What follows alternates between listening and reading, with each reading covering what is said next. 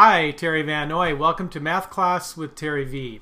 Hope this video helps you out, and if you enjoy it, please share it, comment, or like it. And you can also go to my website, mathpowerline.com.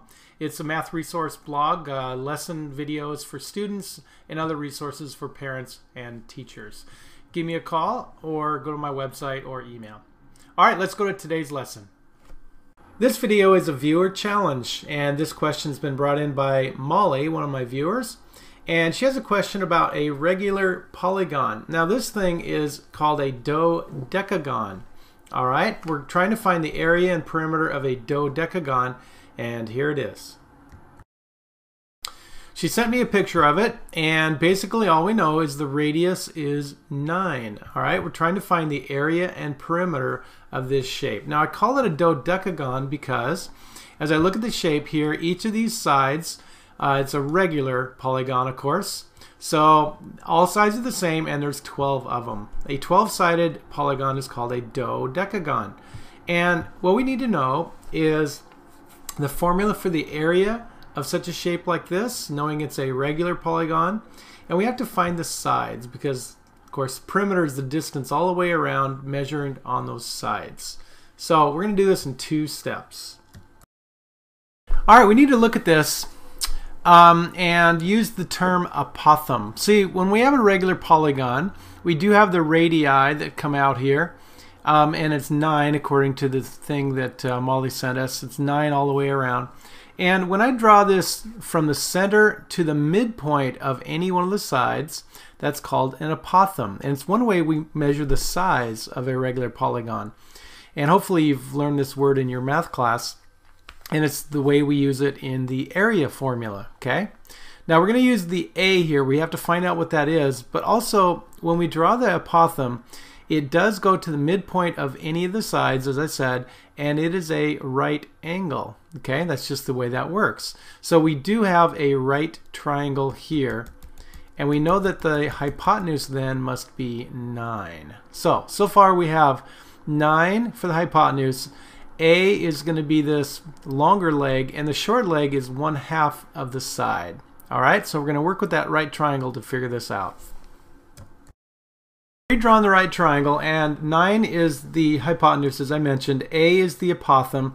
Now, I'm going to label this S. Hope that's not confusing. That's actually half of the side, because remember that the apothem splits the side over here. So this little leg here, once I find it, I'm going to double it to find the real side of each uh, 12 of those sides of the dodecagon.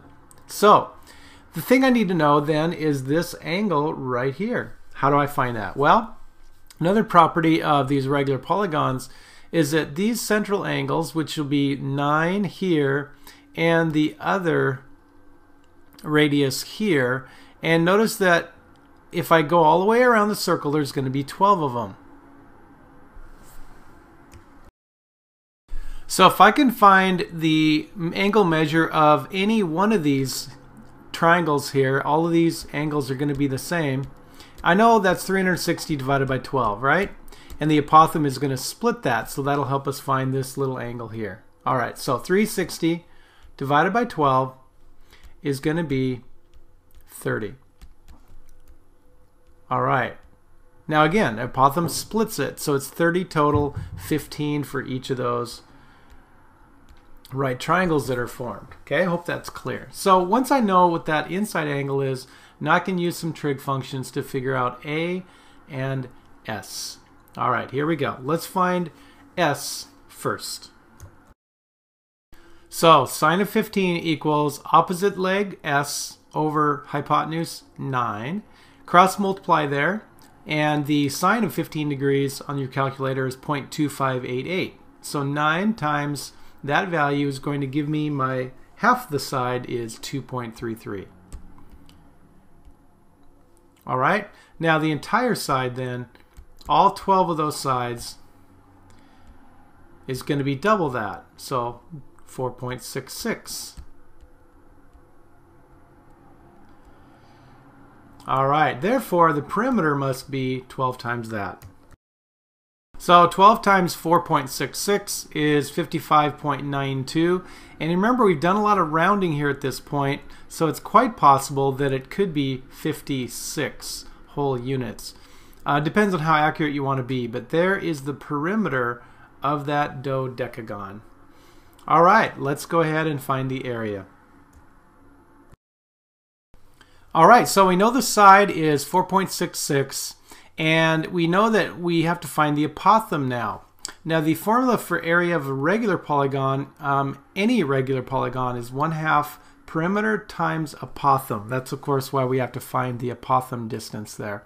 Perimeter times apothem times 1 half.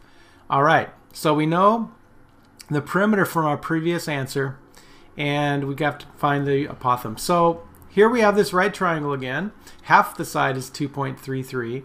The hypotenuse there is 9, the radius of that polygon. So let's go ahead and use the cosine function. Cosine of 15 degrees is going to equal the A apothem side, that's the adjacent leg, notice, over the hypotenuse. All right, we're going to cross multiply. So A equals 9 times the cosine of 15. And the cosine of 15 is 0.9659.